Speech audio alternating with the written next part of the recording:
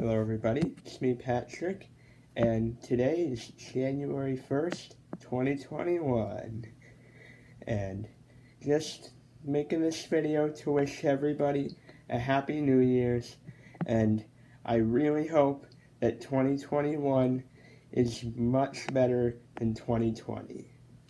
Enjoy!